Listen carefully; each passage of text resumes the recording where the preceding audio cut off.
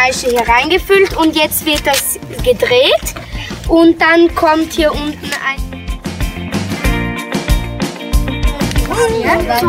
zu schauen. Ja. so jetzt Wir können das schon ganz gut. Was bei der Umi? Warte auf, ich Du auf, du auf. Passt, passt, passt. Jetzt so, ja, dran, dran, dran. Ja, jetzt passt. So. doch mal durch das. Bisschen lieber, ein bisschen anders.